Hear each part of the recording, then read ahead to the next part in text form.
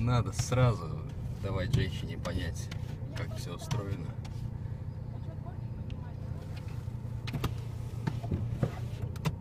Вот здесь еще. Вот здесь еще и там еще. Че? Вот там еще.